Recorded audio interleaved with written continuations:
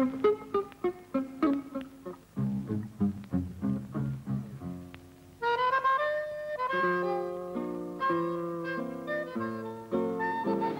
por defensa. No lo dice tranvía del tranviango, del tranviango argentino. En la mitad del camino. ¿Conoces esa? Es así. Y un coche por defensa del triángulo argentino. Y en la mitad del camino se encuentra un carro encajado. Compañero hágase un lado, dijo al del carro el cochero, y este contesta ligero, avisa si es comisario, o si lo ha nombrado alcalde, o se entera que soy otario. Ahora, se usaban generalmente palabras grandilocuentes. Por ejemplo, esa que yo le dije a usted, ¿cómo es? Siéntese con eminencia en el sillón soberano. Si se sienta su presencia, se habrá sentado el humano. Qué lindo. Que no quiere decir absolutamente nada, pero que tiene suficiente pompa, ¿no? es pasar la palabra y ver, pasar de la monotonía, porque todo era.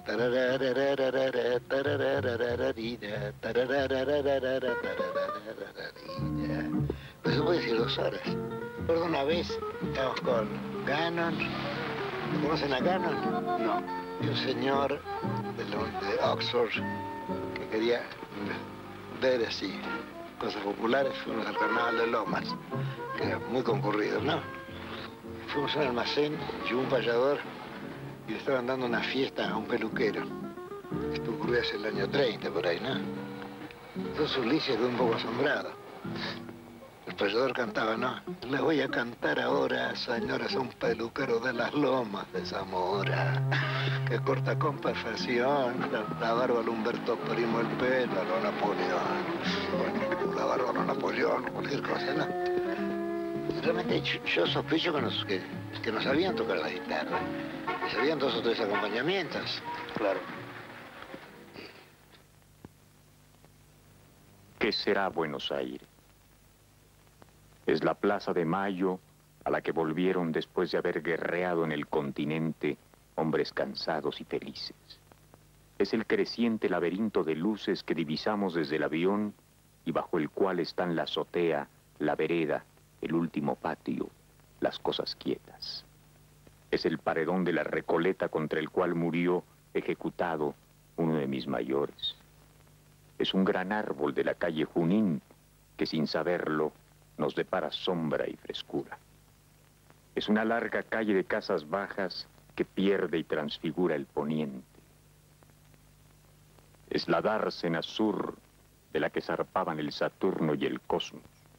Es la vereda de Quintana en la que mi padre, que había estado ciego, lloró porque veía las antiguas estrellas.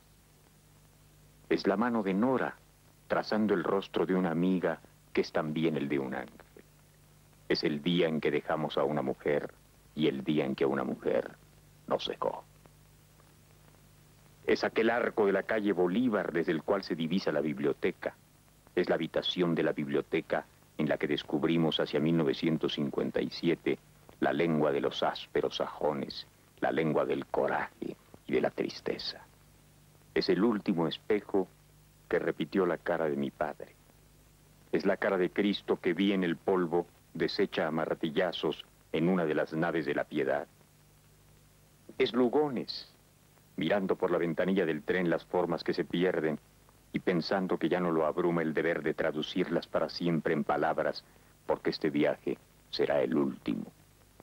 Es, en la deshabitada noche, cierta esquina del once en la que Macedonio Fernández, que ha muerto, sigue explicándome que la muerte es una falacia. No quiero proseguir. Estas cosas son demasiado individuales, son demasiado lo que son para ser también Buenos Aires. Buenos Aires es la otra calle, la que no pisé nunca. Es el centro secreto de las manzanas. Los patios últimos. Es lo que las fachadas ocultan. Es mi enemigo, si lo tengo. Es la persona a quien le desagradan mis versos. A mí me desagradan también. Es la modesta librería en que acaso entramos y que hemos olvidado. Es esa racha de milonga silbada que no reconocemos y que nos toca. Es lo que se ha perdido y lo que será. Es lo ulterior, lo ajeno, lo lateral, el barrio que no es tuyo ni mío, lo que ignoramos y queremos.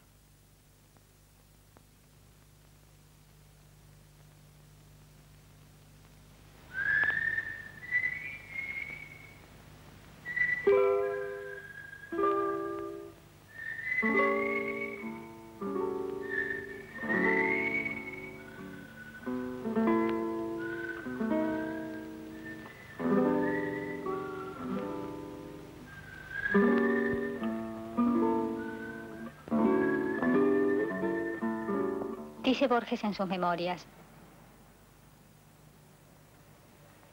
No puedo decidir si mis primeros recuerdos se ubican en la margen occidental o en la margen oriental del lento, fangoso río de la Plata.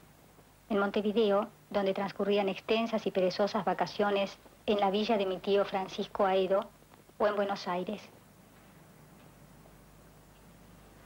Aquí nací yo, el 24 de agosto de 1899, en el corazón de la ciudad, en la calle Tucumán, entre las de Suipacha y Esmeralda, en una casa, como todas las de ese tiempo, pequeña y sin pretensiones, que pertenecía a mis abuelos maternos.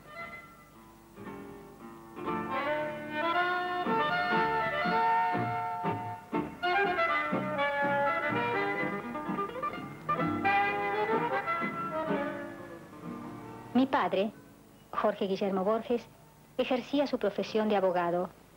Era un filósofo anarquista, discípulo de Spencer, que enseñaba psicología en la Escuela Normal de Lenguas Vivas, donde dictaba sus clases en inglés, utilizando como texto el más breve de los libros de psicología de William James. Mi madre, Leonora Acevedo de Borges, proviene de una familia de vieja ascendencia argentina y uruguaya.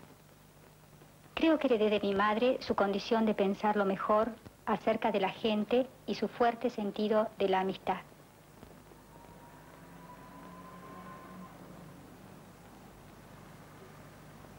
Ella siempre ha sido compañera mía cuando quedé ciego. Mi madre siempre ha sido para mí un amigo comprensivo, siempre dispuesto al perdón.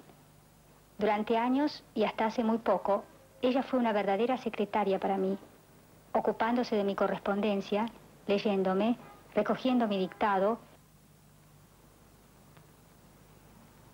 y viajando conmigo muchas veces por el país y por el extranjero. Fue ella, aunque demoré mucho en descubrirlo, quien silenciosa y eficazmente promovió mi carrera literaria. El hijo viejo, el hombre sin historia, el huérfano que pudo ser el muerto, agota en vano el caserón desierto. Fue de los dos y es hoy de la memoria. Es de los dos. Bajo la dura suerte, busca perdido el hombre doloroso la voz que fue su voz. Lo milagroso no sería más raro que la muerte. Lo acosarán interminablemente los recuerdos sagrados y triviales que son nuestro destino esas mortales memorias vastas como un continente. Dios, o tal vez, o nadie. Yo te pido su inagotable imagen, no el olvido. En estos momentos, cuando yo pienso que no voy a verla nunca a mi madre, me parece increíble, pero al mismo tiempo me parece lógico que sea así.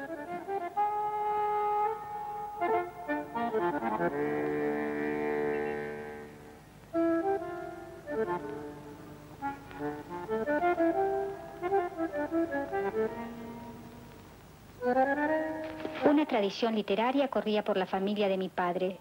Su tío abuelo, Juan Crisóstomo Lafinur, fue uno de los primeros poetas argentinos y compuso una oda cuando en 1820 murió su amigo, el general Belgrano.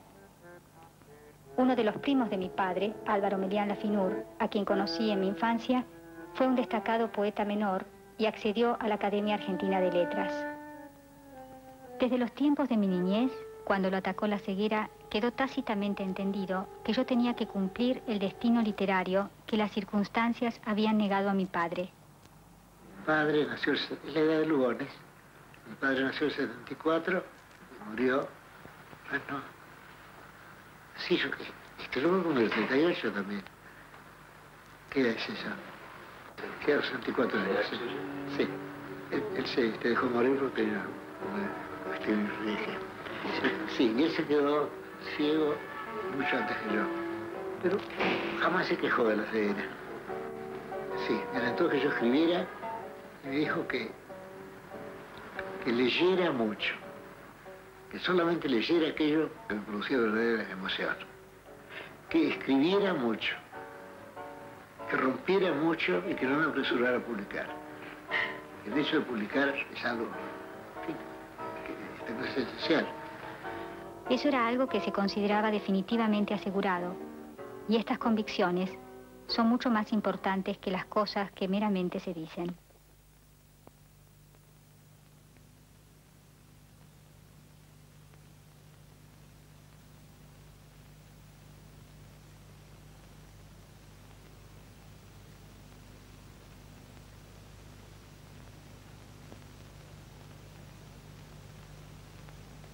Borges.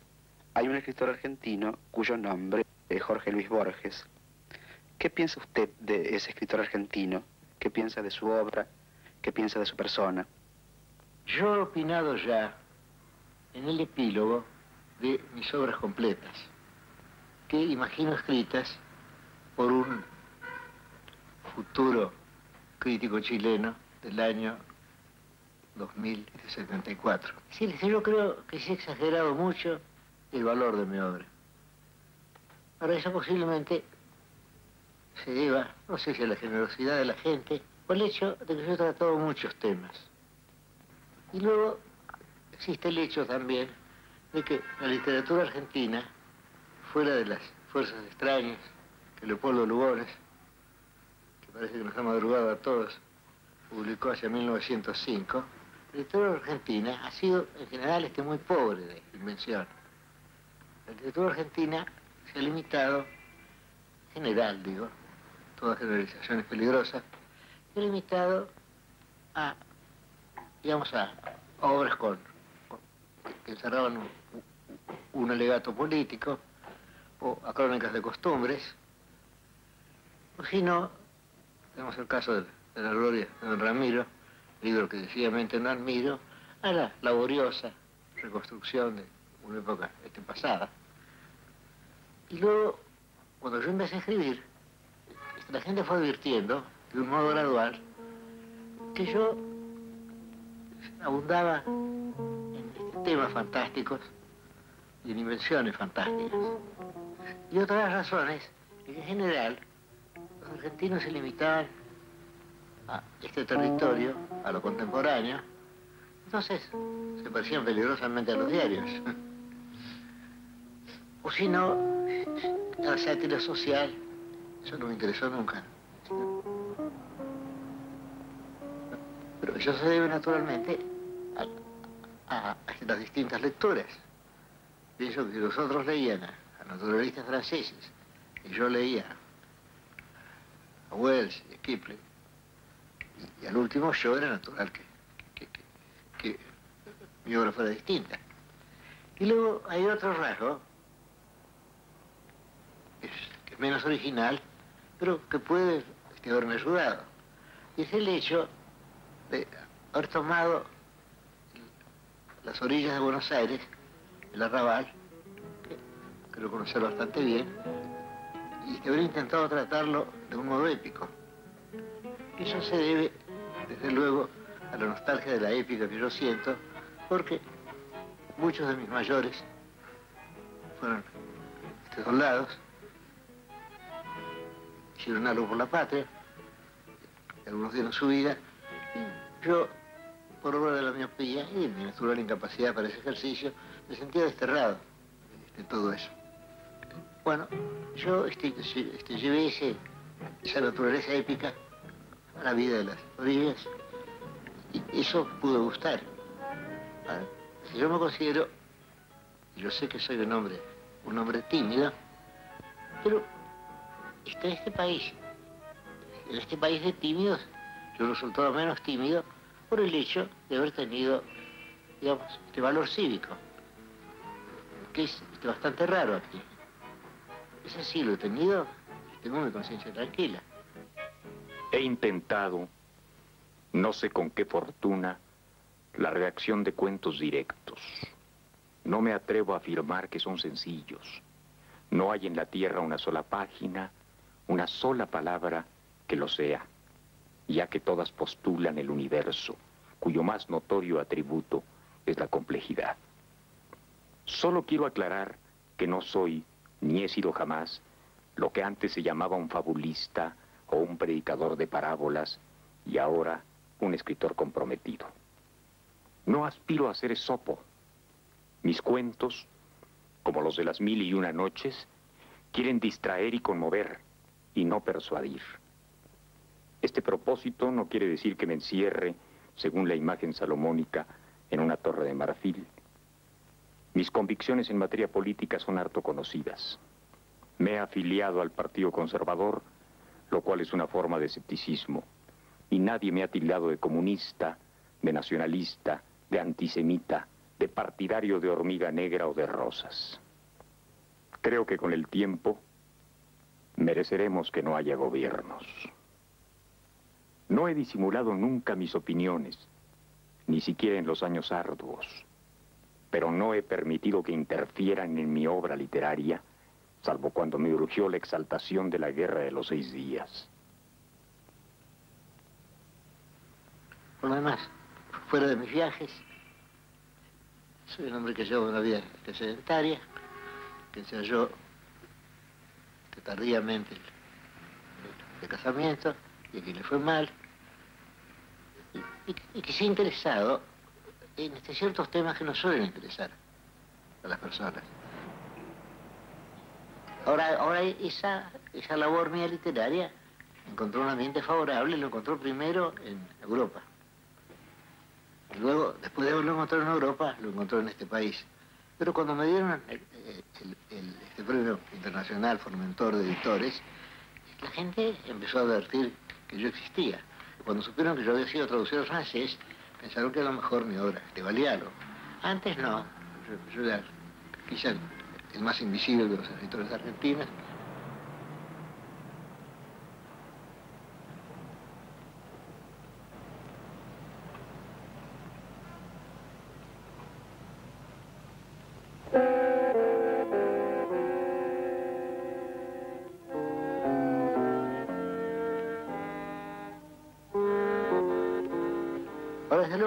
interesado muchas cosas. Por ejemplo, me ha interesado la historia de las religiones, me ha interesado las herejías, me ha interesado incluso la, teología, la, teología cristiana y la teología budista.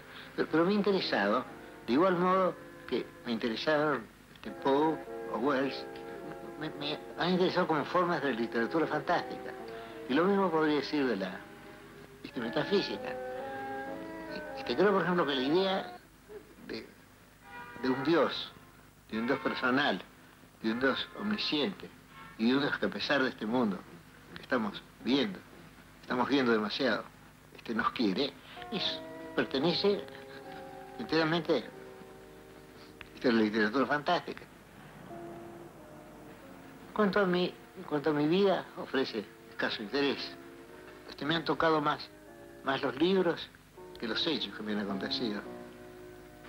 Ahora, eso no creo que puede reprochársele a nadie, porque si un escritor es, además de ser un hombre que domina, eh, digamos, el ejercicio de la literatura, es un hombre sensible, este, ¿por qué no suponer que, de igual modo que es más sensible que otros hombres al amor, o a una puesta de sol, o a la llanura, o al mar, también es más sensible a las, a las este, lecturas?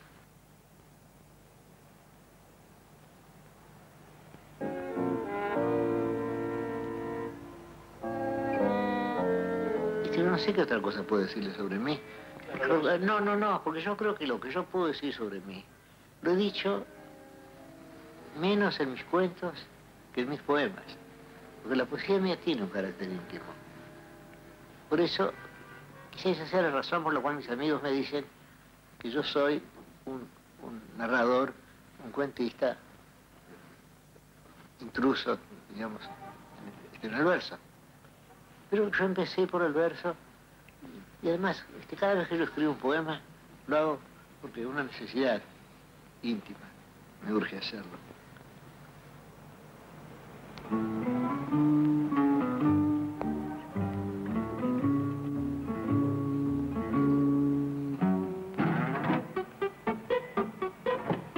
No quedará en la noche una estrella. No quedará la noche Moriré y conmigo la suma del intolerable universo. Borraré las pirámides, las medallas, los continentes y las caras. Borraré la acumulación del pasado. Haré polvo la historia. Polvo el polvo. Estoy mirando el último poniente. Oigo el último pájaro. Lego la nada a nadie.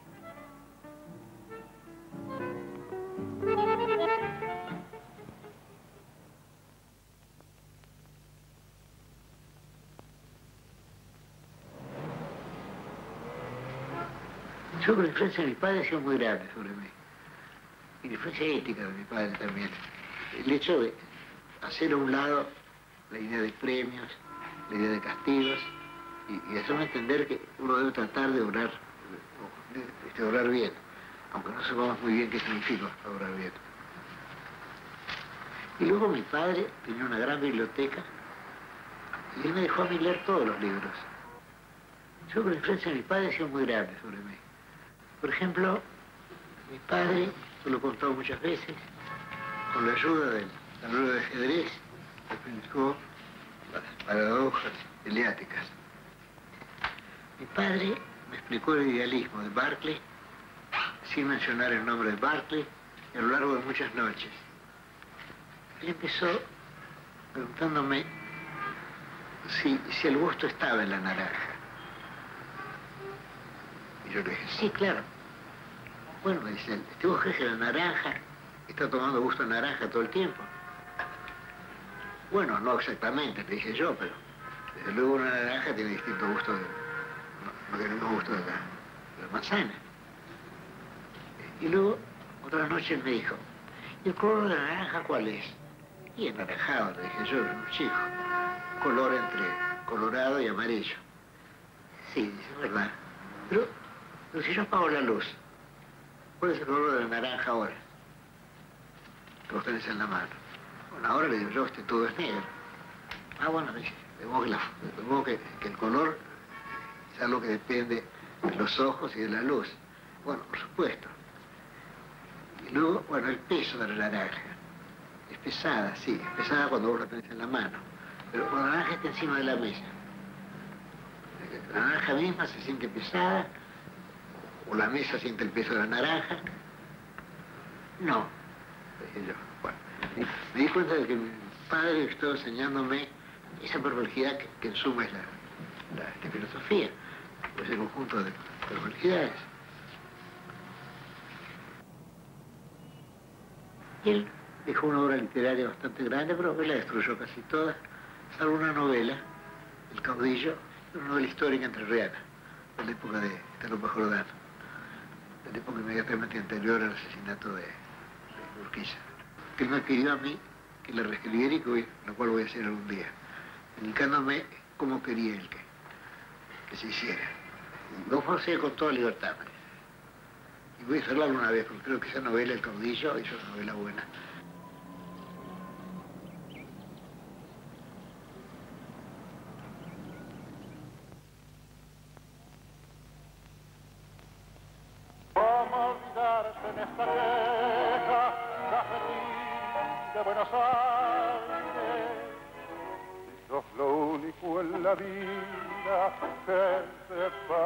A mi vieja en tu mezcla milagrosa de sabiondos y piscinas. Aprendí filosofía, ya timba y la poesía cruel de no pensar más en ti.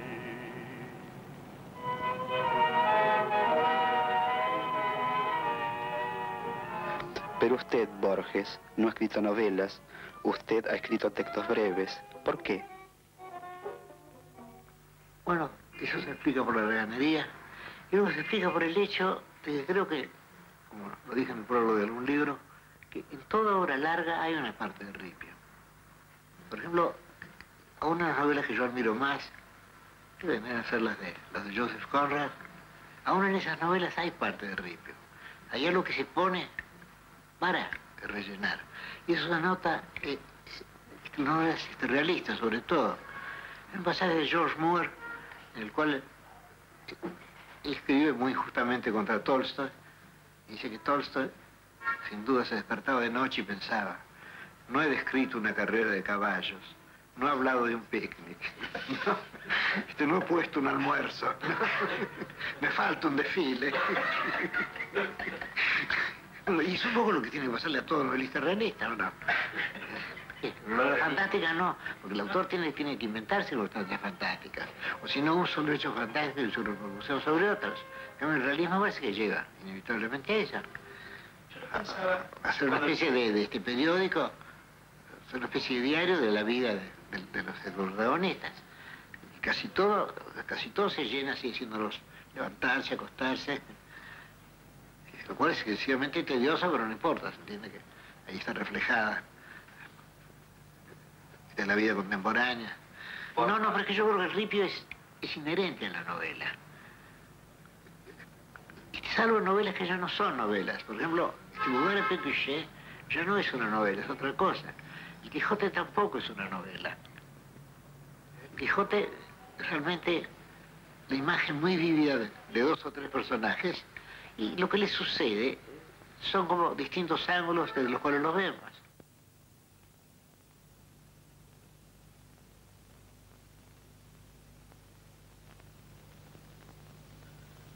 De esas obras suyas productos de su ocio, o de su holgazanería, como usted dice, ¿cuál es la que más le gusta?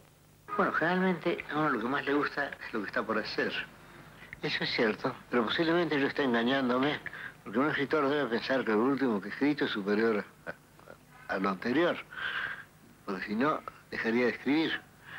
Como yo no tengo otro, otro porvenir posible que eso, posiblemente hubiera tratado de engañarme con esa idea. Debo preguntarle a mis amigos, sí, el libro de arena es realmente mejor que ficciones. O, es menos malo que ficciones. Bueno, este viene a ser lo mismo.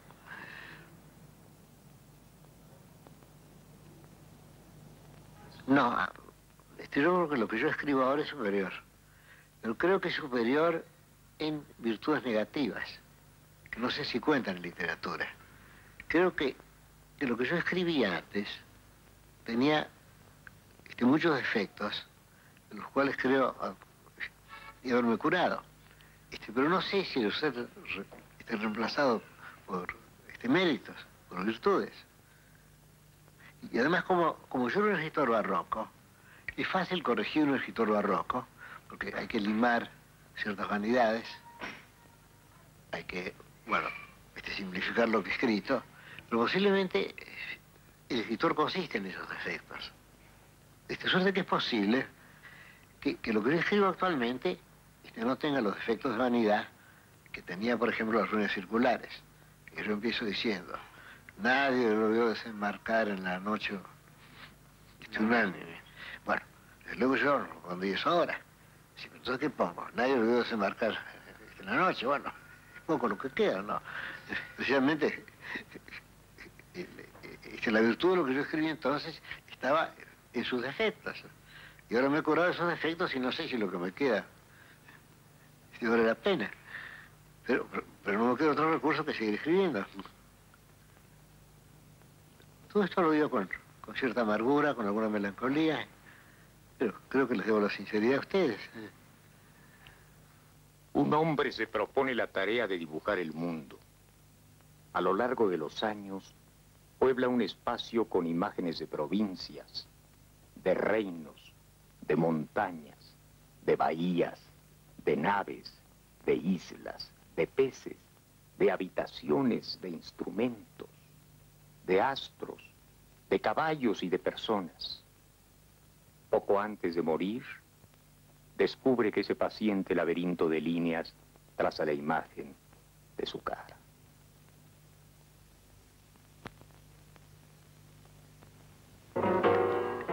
Elliot tiene a veces una nota así elegíaca que me agrada, pero, pero creo que tiene un defecto.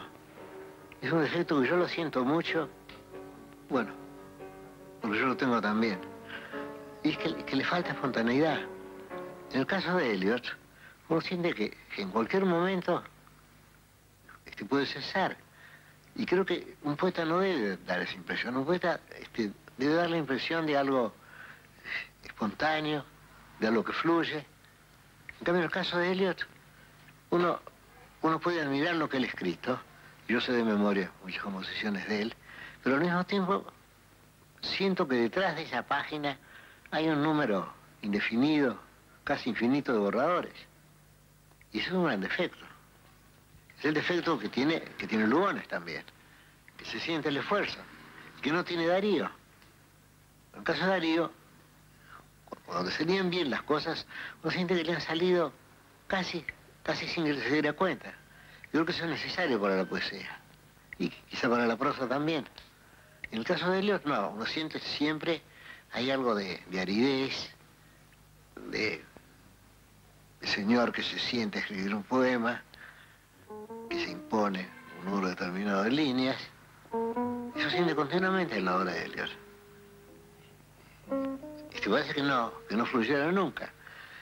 En el caso de Pound, tiene, bueno, hay unas traducciones del, del sajón y algunas traducciones del chino, pero, por ejemplo, este, los cantos me parecen ilegibles.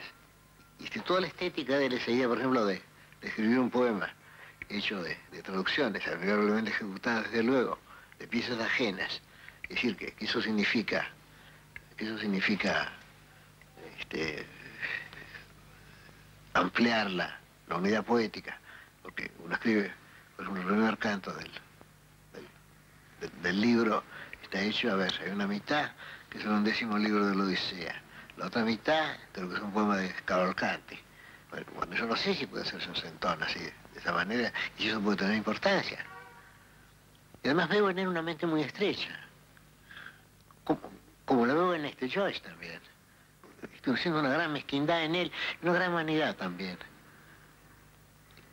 Y creo que el estilo barroco es condenable por eso. Porque, porque es que uno siente un defecto moral, el defecto de vanidad. Bueno, el caso de Henry James es un caso raro, porque es un escritor, me parece a mí, de situaciones y no de personajes. Tengo la impresión de que no hay personajes en James. Que hay una situación y que los personajes están hechos o imaginados más o menos bien para la situación. Sí, creo que es un defecto eso. Porque creo que sería que es más aceptable lo contrario. Que, que la trama surja de los caracteres. Y no los caracteres hayan sido creados para la trama. Porque los caracteres son más importantes que la trama. Los, los personajes son muy importantes. Pero, en todo yo creo que, que es importante el personaje. Y uno de los personajes es el autor, y conviene entonces que no se muestre como vanidoso, que no se muestre como demasiado cuidadoso de lo que hace, o demasiado, digamos, sí, este, interesado en, impresionar al lector. Bueno, este Novale dijo eso, Novale dijo que, uno de los errores de los autores es incluir en sus libros muchas cosas que pertenecen al lector y no al autor. Y eso se nota, y en escritores, por ejemplo, secundarios como Lovecraft, se nota eso. Ellos dicen qué horror, qué espanto, es el lector el que debe decir eso. Y los autores sentimentales generalmente cometen ese error, que, se emocionan ellos mismos con lo que están contando. En vez de dejar esa emoción al lector. Ahora, ese hecho de darle más importancia a, las personas que a los, actos, corresponde no solo a la literatura, sino a la realidad. Por ejemplo, nosotros elegimos a nuestros amigos, o, o somos elegidos por ellos, o las amistades se producen. Bueno, ¿por qué? ¿Por lo que han hecho? No. Por lo que han dicho tampoco. Menos la gente dice y obra lo mismo. Sino por lo que sentimos de, de, de personal, de, de este precioso, y sustituirlo en ellos. De modo que eso se da en la literatura y en la, y en la vida cotidiana. Se vuelve se enamora una persona de otra. Se siente que en esa otra persona hay algo que no hay ninguna otra. Este, no por lo que ha dicho, realmente lo que se dice son trivialidades. No por lo que ha hecho. Mucho, sobre todo en el caso de las mujeres, pues es importante lo que son y no lo que hacen. Lo que dicen tampoco. Bueno, más menos todos decimos las mismas cosas. Pero uno siente que detrás de eso hay una persona distinta. Y, si eso ocurre, si eso ocurre, y en la vigilia, lo que llamamos realidad ocurre también en la literatura.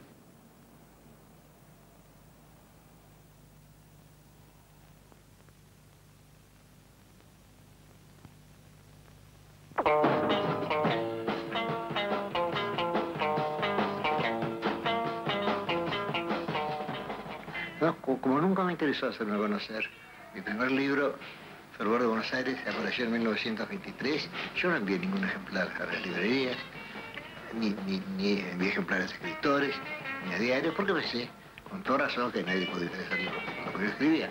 De modo que ese libro fue repartiéndose lentamente entre los amigos, y luego alguno de ellos escribió sobre él.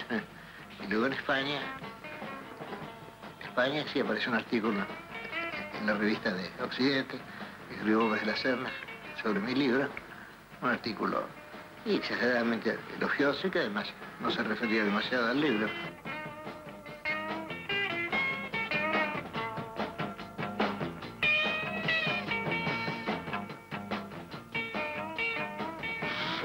Asombrado cuando me preguntan, por ejemplo, yo les digo, ¿qué estás haciendo? Y les digo, estoy escribiendo, estoy escribiendo este, un soneto. Me preguntan, ¿para dónde? Pues qué sé yo dónde voy a publicarlo. Posiblemente eso aparezca en una revista o posiblemente eso esté cuando lugar en un volumen. Lo que menos pienso yo es en eso. Por ejemplo, bueno, cuando estuve en, en Berlín, un escritor, creo que se llamaba Miguel Ángel Asturias, empezó declarando ante el asombro general el número de libros que había escrito, el número de ediciones, el número de, los idiomas a que había sido traducido. Luego cuando me invitaron a mí a hacer lo mismo, les dije que, jamás me había dedicado a esa estadística, que yo era un escritor y que por consiguiente no podía interesarme en ninguna de esas cosas. ¿Qué puede importarme a mí el número de ediciones que se haga? Absolutamente, o el hecho de que hayan sido traducidos o no los libros. Y eso puede interesarles a los libreros, a los editores también, pero a un escritor no. Es muy raro que le interese eso. O el hecho de ser conocido o desconocido tampoco interesa. Pero en cuanto a mí, cuando yo he escrito algo, yo no he pensado nunca en la suerte ulterior de eso que escribo. Es decir, el hecho de que un libro mío se venda o no se venda, de que se ha leído, que no se ha leído, que hablen bien de él, hablen mal de él, ya todo eso es que no me toca a mí. Es más bien cuestión de editores, de libreros, pero a mí no me interesa. Yo fuera de ese libro, Borges, Enigma y Clave, de Tamayo y de Ruiz Díaz, este, creo que no he leído nada de lo que se ha escrito sobre mí. Porque no me interesa mucho el tema.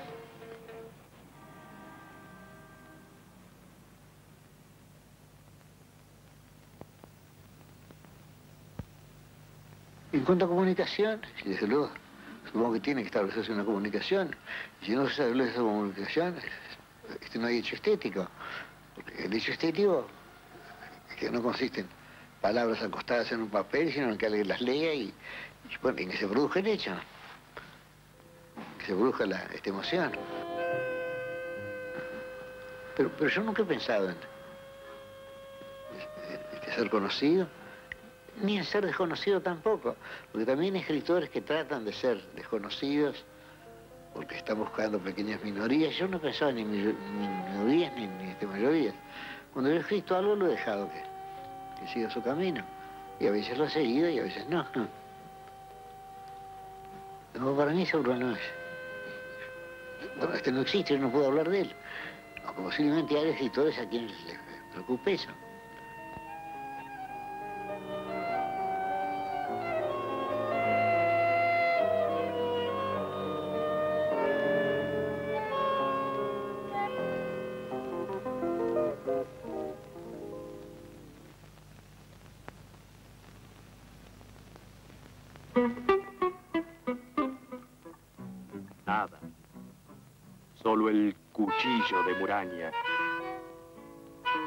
Solo en la tarde gris la historia trunca.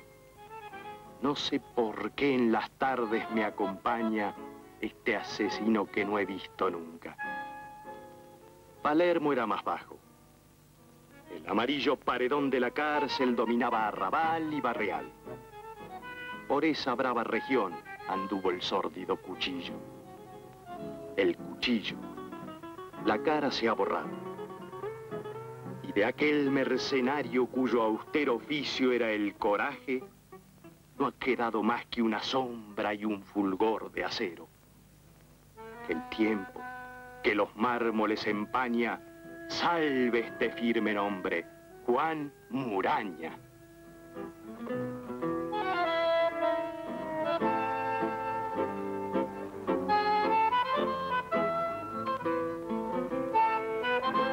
Ustedes saben que este es un país. Este es un país, desde luego, esencialmente snob. Y tenemos el caso del tango. El tango, por ejemplo, que esto yo lo sé por muchos testimonios, fue rechazado a los conventillos y luego fue impuesto por la, por lo que vamos a llamar, sí, la gente vivía en la aristocracia al pueblo. Sobre todo cuando se supo que el tango era bailado en París, entonces ya la gente lo este, tomó en serio. Quizás se hayan equivocado. Pero yo sé, por ejemplo, que, en los conventillos nunca se bailó. Que gente pobre pero decente que a, a- bailar un baile de, de. Ahora también es verdad que el tango ca- cambió, se hizo sentimental, dulzón.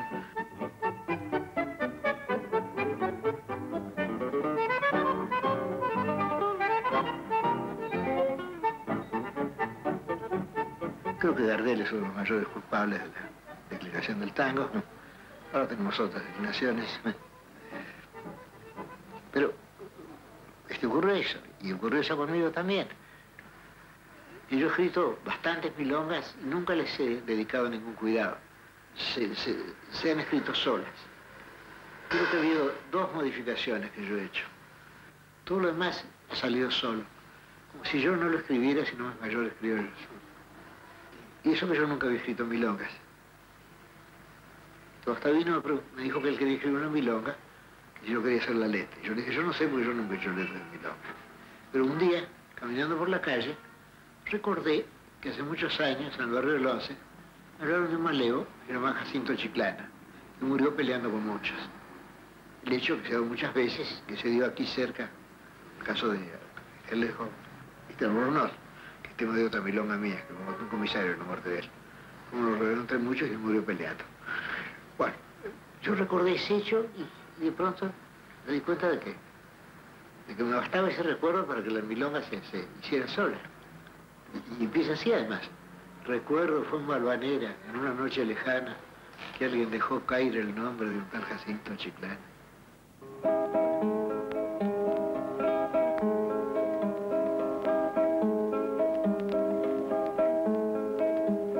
Me acuerdo, fue en Valvanera, en una noche lejana, que alguien dejó caer el nombre de un tal Jacinto Chiclana. Algo se dijo también de una esquina y de un cuchillo. Los años nos dejan ver el entrevero y el brillo.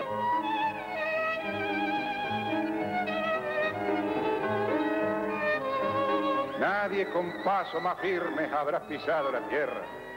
Nadie habrá habido como él en el amor y en la guerra. Sobre la huerta y el patio, las torres de Valvanera y aquella muerte casual en una esquina cualquiera. Solo Dios puede saber la laya fiel de aquel hombre. Señores, yo estoy cantando lo que se cifra en el nombre. Siempre el coraje es mejor, la esperanza nunca es vana.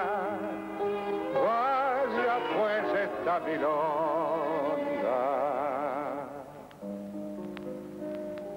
Para Jacinto Chiclana.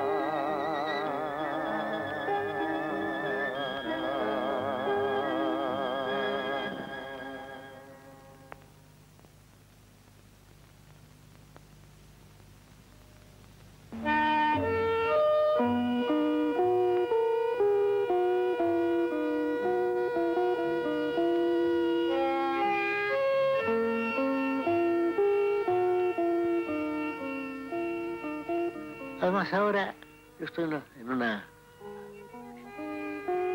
Bueno, paso por un momento. Por un momento, un momento que ha durado 20 años, o sea. Este, por el hecho de, de que estoy ciego.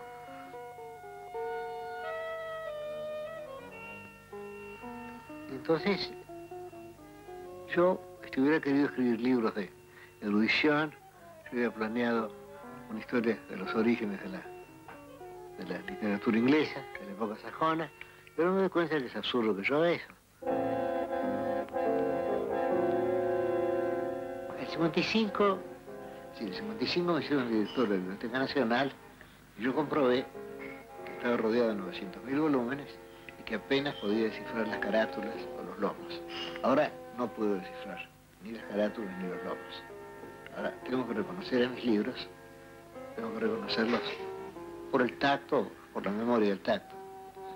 Por eso cuando este, no encuentro un libro en su lugar, me siento así angustiado y les encargo a mis alumnos que lo busquen.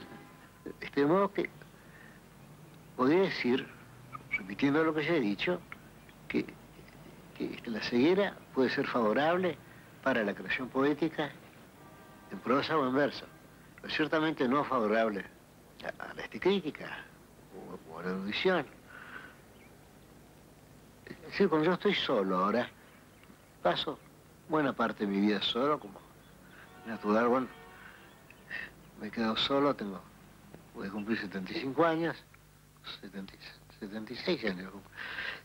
Bueno, es natural eso, que, que, que me dedique sobre todo a fantasear, a dejar que mi imaginación encuentre invenciones o vuelva a, a combinar lo que ya ha combinado, porque, porque desde luego estoy declinando como es natural. Yo no creo llegar a escribir nada superior a lo que he escrito, pero estoy condenado a, y, y un mundo ya bastante estrecho, sobre todo bastante estrecho de, de, de invenciones.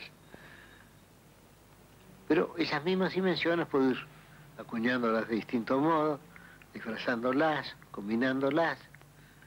Supongo que eso será el resto de mi vida.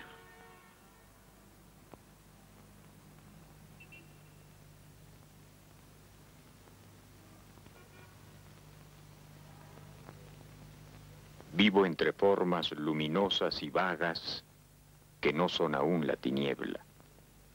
Demócrito de Abdera se arrancó los ojos para pensar. El tiempo ha sido mi Demócrito. Esta penumbra es lenta y no duele. Fluye por un manso declive y se parece a la eternidad. Mis amigos no tienen cara. Las mujeres son lo que fueron hace ya tantos años. Las esquinas pueden ser otras. No hay letras en las páginas de los libros. Todo esto debería atemorizarme, pero es una dulzura, un regreso.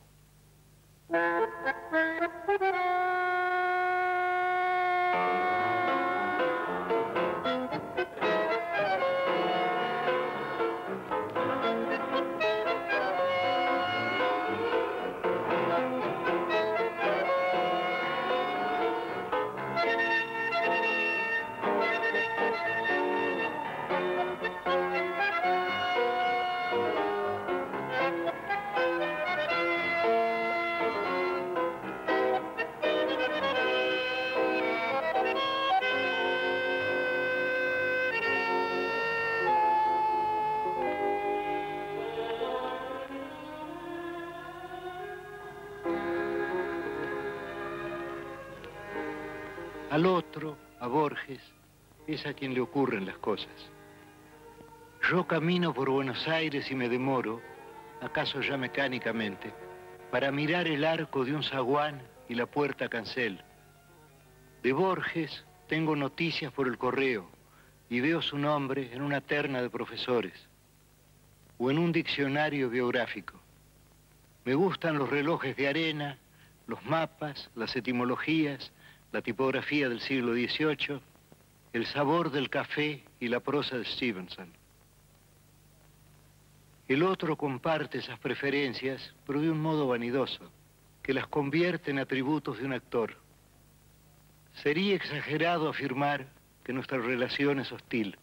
Yo vivo, yo me dejo vivir para que Borges pueda tramar su literatura. Y esa literatura me justifica. Nada me cuesta confesar que ha logrado ciertas páginas válidas. Pero esas páginas no me pueden salvar. Quizá porque lo bueno ya no es de nadie, ni siquiera del otro, sino del lenguaje o la tradición. Por lo demás, yo estoy destinado a perderme definitivamente, y solo algún instante de mí podrá sobrevivir en el otro. Poco a poco voy cediéndole todo, aunque me consta su perversa costumbre de falsear y magnificar. Spinoza entendió que todas las cosas quieren perseverar en su ser, la piedra eternamente quiere ser piedra y el tigre un tigre. Yo he de quedar en Borges, no en mí, si es que alguien soy. Pero me reconozco menos en sus libros que en muchos otros, o que en el laborioso rasgueo de una guitarra. Hace años yo traté de librarme de él y pasé de las mitologías del arrabal a los juegos con el tiempo y con lo infinito. Pero esos juegos son de Borges ahora y tendré que idear otras cosas. Así mi vida es una fuga y todo lo pierdo y todo es del olvido o del otro. No sé cuál de los dos escribe esta página.